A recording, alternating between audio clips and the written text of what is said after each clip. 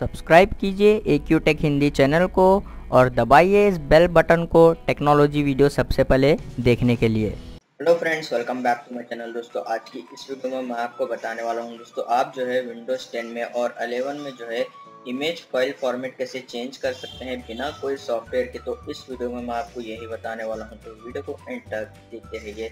दोस्तों, आप जो है कोई भी एक इमेज जो है ओपन कीजिए। जैसे कि यहाँ पर आपको मैं बताने वाला हूँ। आप यहाँ पर देख सकते हैं ये इमेज है। अभी आपको इसको राइट क्लिक कर कर इसकी प्रॉपर्टी में जाते हैं।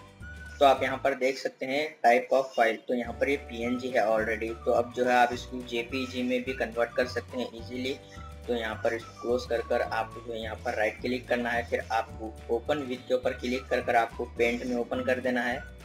फिर दोस्तों, आपको जो है यहाँ पर इस फ़ाइल को जो है सेव कर देना है। यहाँ पर फ़ाइल के ऊपर क्लिक कीजिए। सेव एज के ऊपर क्लिक करने के बाद आपको यहाँ पर इतने सारे फॉर्मेट्स जो है देखने को मिलते हैं। PNG पिक्चर है JPG पिक्चर है बी है और GIF भी है। तो अदर फॉर्मेट भी आप सेट कर सकते हैं। तो मैं यहाँ पर इसको जे पिक्चर जो है सेलेक्ट कर लेता हूँ। उसके बाद अब मैं यहाँ पर इसको जो है सेव कर लेता हूँ। उसके बाद आपको यहाँ पर ओके के ऊपर क्लिक कर देना है।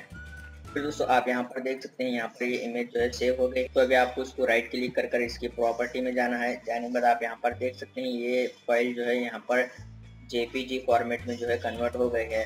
तो इस तरीके से जो है इजीली इमेज को जो है कोई भी फॉर्मेट में कन्वर्ट कर सकते हैं। उम्मीद है आपको ये छोटा सा वीडियो पसंद आ गया हो तो प्लीज़ लाइक कर देना और चैनल को सब्सक्राइब करे बिना मत जाना। मिलते हैं नेक्स्ट वीडियो में।